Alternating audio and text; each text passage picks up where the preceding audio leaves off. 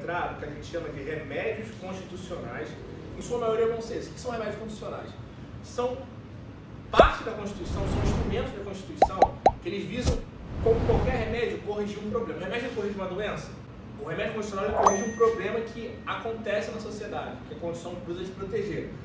O mais clássico deles é o habeas corpus, que é o que a gente mais vai ver. O que é o habeas corpus? É um instrumento jurídico que os advogados utilizam, é, que a legislação permite, que seja utilizado no Brasil é, quando uma pessoa é presa, ou quando uma pessoa tem a sua liberdade ameaçada ou cerceada. Então, assim, você, poxa, você sabe que você vai ser preso. Você pode enfrentar um habeas corpus preventivo? Sim, que quando você for preso, você vai ser solto. Não é que você vai ser solto, você vai ficar com a sua liberdade garantida. Então o habeas corpus tem essa característica. O outro clássico que a gente vai ver um negócio chamado habeas datas. É, a gente um, vai ver um também chamado mandato de segurança, que é um que a gente utiliza quando que está em jogo é um direito que não é resguardado pelo habeas corpus nem pelo habeas datas. Então se algum direito nenhum dos dois cobre, entra com mandato de segurança. Tem também que a gente chama de mandado de injunção, que é quando você precisa que o poder público faça alguma coisa. A gente vai ver, vai ver esses instrumentos agora. Então, assim, inicialmente, de cara, fica com essa ideia de remédios, beleza? É, eles existem no Brasil, assim, virou país independente. Então, assim, é, desde que o Brasil começou a ter Constituição, os remédios começaram a ser necessários, especialmente o habeas corpus, é o mais clássico deles. É, então, por exemplo, na época de Dom Pedro, tinha habeas corpus? Tinha habeas corpus. Ele foi inventado no Brasil. Ele talvez seja mais utilizado por quê? Como prova para a segurança pública, você tem questão da prisão, tem questão da soltura do cara. Muitas das solturas acontecem por meio do habeas corpus, porque um, essencialmente a gente viu, a regra é você garantir a liberdade do indivíduo. Então, por mais que a gente tenha essa coisa de prender, que o cara tem que ser preso, a regra é que o cara seja solto, seja por, seja por fiança, seja porque o cara não tem prova suficiente para manter o preso, ou mesmo que o cara tem garantido pela justiça, seguindo a legislação, que ele precisa aguardar o julgamento dele em liberdade, coisa, coisa nesse sentido. E, poxa, vamos supor que uma determinada pessoa seja é, presa em flagrante porque você achou que alguém roubou e ele correu. O cara vai ficar preso até chegar ao julgamento, o pode demorar um, dois, três meses. A legislação já garante como direito de garantia fundamental do cara a liberdade. Ah, mas não tem como. Tá tudo indicando que o cara é culpado, que o cara é reincidente, blá blá blá. Poxa, mas de repente nesse caso o habeas garante que ele responde liberdade, porque vai que depois de três meses descobre que não foi ele que cometeu o crime. O cara perdeu três meses da vida dele preso, vai ter que reparar. Então assim, a ideia basicamente é evitar que erros venham a acontecer, beleza? Então vamos lá, o que diz a nossa Constituição no 68? O texto é o seguinte, conceder-se-á habeas corpus sempre que alguém sofrer ou se achar ameaçado de sofrer violência ou coação em sua liberdade de locomoção por ilegalidade ou abuso de poder. O primeiro que a gente vai ver é um instrumento conhecido como habeas corpus. Esse instrumento, galera, tá ligado à ideia de você manter o corpo aberto, o corpo livre, beleza? Então, assim, o que o habeas corpus vai cuidar? Então, o objeto dele maior vai ser a noção de liberdade. Então, qualquer questão que eu vai falar sobre a liberdade da pessoa, liberdade, a gente vai associar à ideia da habeas. Especificamente, a liberdade que ele se refere é a liberdade de locomoção. Ou seja, ir e vir. Beleza? É isso que ele está visando garantir. Não é só quem tiver com a liberdade restrita, tá? Então, assim, é quem tenha perdido a liberdade ou esteja tendo sua liberdade ameaçada. Ou como a gente pode botar aqui com base até no que está na Constituição, é que alguém, sempre que alguém sofrer, ou seja, for prejudicado, ou ache ameaçado de sofrer.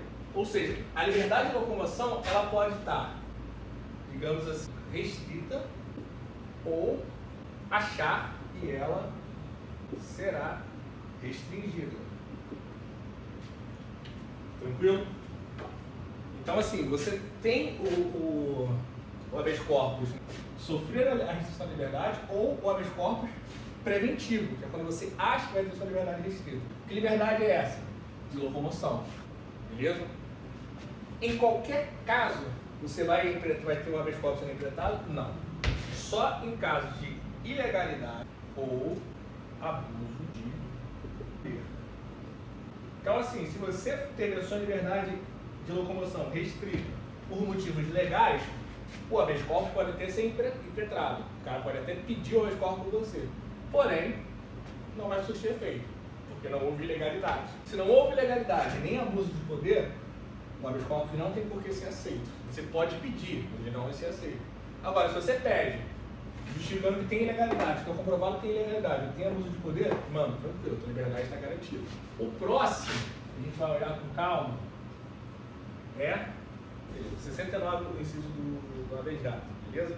É, Conceder-se-á habeas datas para assegurar o conhecimento de informações relativas à pessoa do impetrante, constantes de registros ou bancos de dados de entidades governamentais ou de caráter público, ou para retificação de dados quando não se prefira fazê-lo por processo sigiloso judicial ou administrativo.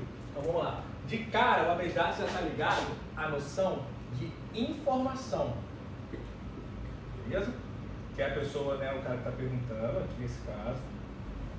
Essa informação pessoal, ela vai ser disponibilizada ou ela precisa ser corrigida. Onde essa informação pessoal tem que estar? Em banco público. Hábeis dados para assegurar o conhecimento de informações relativas à pessoa do impetrante. Pessoa do impetrante é quando o cara busca informação sobre para ele, pra, informação dele, tá? Então aí a noção de informação pessoal. Nesse, nesse, nesse negócio aqui. Constantes de registro ou banco de dados de entidades governamentais ou de caráter público. Por quê? Você tem esses dados sendo disponibilizados em situações em que o Estado está atuando, em que o Estado está atuando ou que é uma atividade de interesse público. Tranquilo? Não precisa ser só 100% coisa pública. Ou para retificação de dados, quando não se prefere fazê-lo por processo sigiloso, judicial ou administrativo. Que é basicamente o seguinte: poxa, meu nome está escrito errado, preciso corrigir meu nome. Ou o nome do meu pai que apareceu agora, coisa nesse sentido. Vai fazer de boa? Vou, fiz, corrigi, tá tranquilo. Ah, não vai fazer? Então vai para um processo. Que pode ser judicial, se eu for para a justiça comum, ou administrativo, se for no, no, dentro da, da, própria administração. Tranquilo?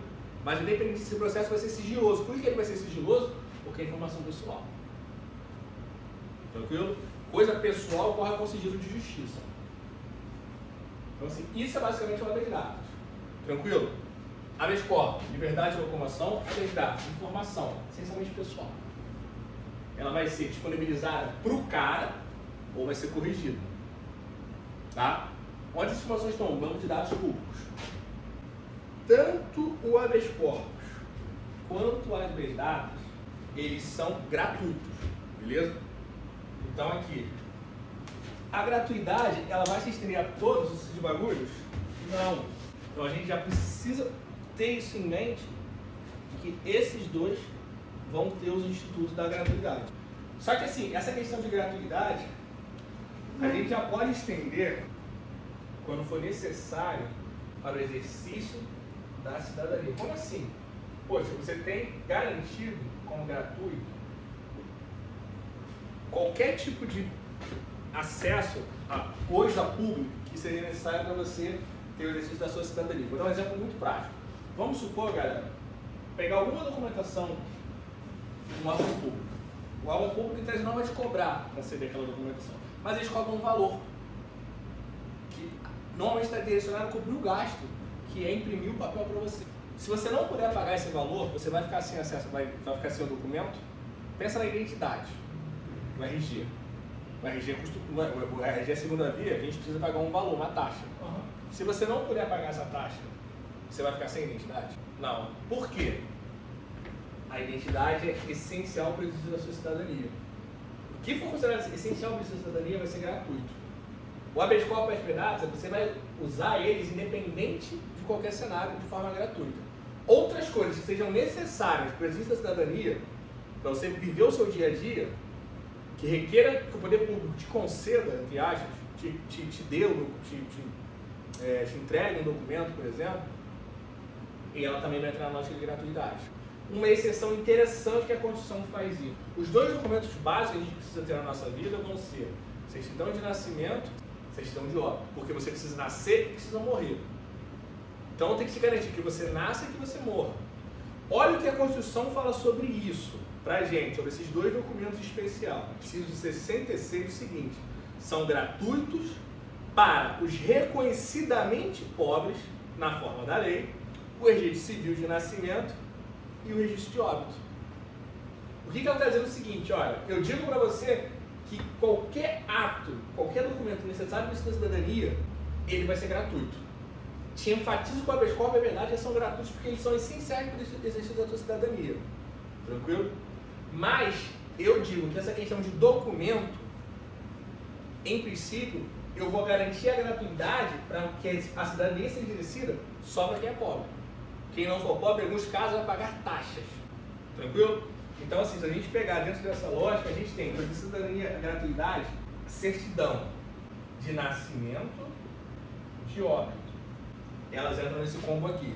Mas eu só vou entrar nesse combo aqui, galera, para quem é pobre. A Constituição está dizendo o seguinte, olha, esses dois, esses dois institutos aqui, remédios condicionais, são muito importantes. Por isso que eles já são gratuitos, independente de você precisar ou não, são de graça. Tá? Aliás, eu digo mais, ele vai, vai ser gratuito tudo que for necessário para você da sua cidadania. Uma coisa importante para você ser cidadão é a certidão de nascimento. E é de óbito quando você se for. Essas duas aqui, eu, eu também vou garantir gratuidade, mas não para todo mundo. Só para os que forem reconhecidamente considerados, os que forem considerados reconhecidamente pobres na forma da lei. E aí vai estar ligado à questão de renda. Então, se você chegar e falar, não posso pagar, hoje em dia eu tenho um CAD único, garante a minha condição de pobreza, digamos assim, eu tenho gratuito isso aqui. Não só isso aqui, várias outras coisas acabam sendo gratuitas. Por exemplo, algumas, algumas pessoas conseguem isenção em concursos públicos, porque entende que o trabalho é uma função, o trabalho público é uma coisa necessária para a sua, sua vida, para a sua vida cidadã. Então é gratuita a inscrição. Não é gratuito você passar na prova. Aí é outra história. Mas se inscrever, tá tranquilo. Então, assim, quando vocês verem, principalmente essa parte aqui, alguém chegar e falar assim, ah, mas dependendo do cenário, o cara pode ter a gratuidade garantida? Pode. Se o cenário for essencial para a cidadania dele, por que não